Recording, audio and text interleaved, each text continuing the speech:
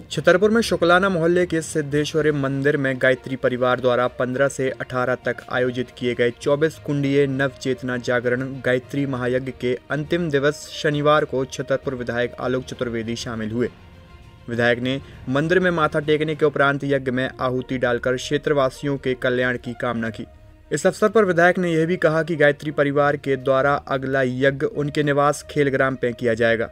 इस मौके पर विधायक के साथ विनोद सोनी, राजेंद्र अग्रवाल, सुरेंद्र अग्रवाल, मुरली कुशवाहा, रामबाबू ताम्रकार सहित गायत्री परिवार के लोग मुख्य रूप से उपस्थित रहे। सभी सदस्यों से और गायत्री परिवार का जो यहाँ का संचालन मंडल है, मैं अनुरोध करना चाहता हूँ कि अगर आगामी कार्यक्रम खेलग्राम में या सेवाग्राम में जहाँ भी आप उचित समझें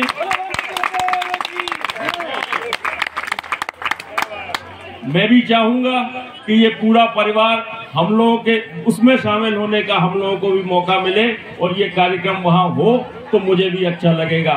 सबको बहुत बहुत धन्यवाद। गायत्री परिवार के द्वारा जो चौबीस कुंडी यज्ञ यहाँ पर छतरपुर में, सिद्धेश्वर मंदिर में, प्रांगण में जो हो रहा है, उसमें मैं भी शामिल होने का मुझे भी अवसर मिला। मैं भी उसमें शामिल हुआ और यज्ञ में आहुति देने का मुझे भी सौभाग्य मिला। ये यज्ञ छतरपुर के कल्याण के लिए, देश के कल्याण के लिए यज्ञ हो रहा है।